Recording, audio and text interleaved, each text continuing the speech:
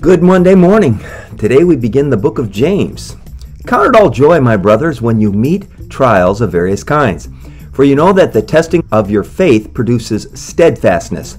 And let steadfastness have its full effect, that you may be perfect and complete, lacking in nothing.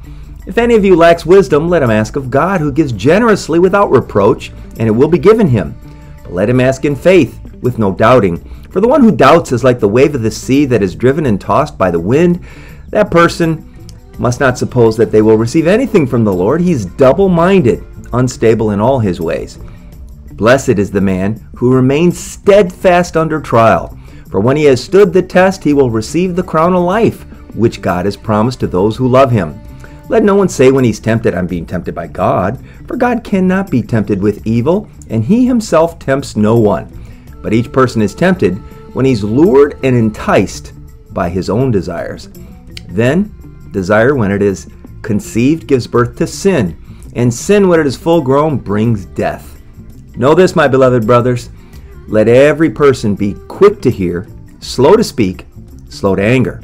For the anger of man does not produce the righteousness of God. Therefore, put away all filthiness and rampant wickedness and receive with meekness the implanted word which is able to save your souls. But be doers of the word and not hearers only, deceiving yourself.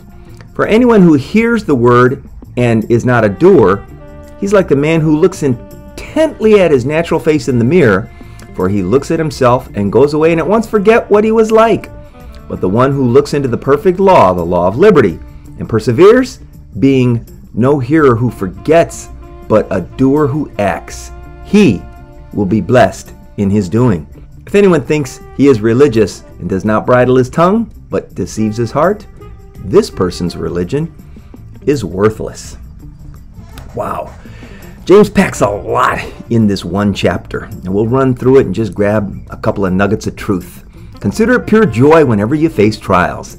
They are the challenges of life that grow your faith and develop perseverance.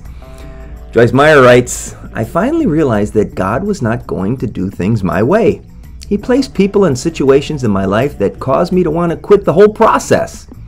And He didn't want an argument from me, He only wanted to hear, Yes, Lord, your will be done. This may come as a shock, but all of life is a test. The good news is, it's simply a pass fail test.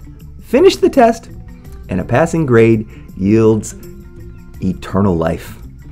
James goes on to talk about temptation.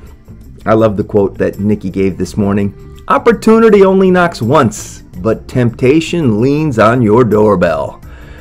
Temptation is when we feel like doing the wrong thing. But remember, feeling like doing the wrong thing is not doing the wrong thing. Doing the wrong thing is the wrong thing. Temptation isn't sin. But boy, howdy, it's hard not to go to that door and listen to that incessant ringing, isn't it? And of course, there's the subject of the tongue. Verse 26 says, Anyone who thinks he's religious and doesn't bridle that thing practices a worthless kind of religion. You know, instead of running off at the mouth, and I know whereof I speak, we should be quick to hear, slow to speak, and slow to anger. I ain't gonna lie. Sometimes it stings when God's word is applied to my wound, my wounded soul. But just like alcohol applied to a wound stings, remember, it prevents infection from setting in. Give it some time. Allow God's word to be applied regularly. Hear it, then do what it says. Lord, help me today to keep a tight rein on my tongue.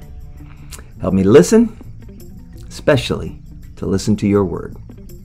Amen. God bless you. I'll see you tomorrow.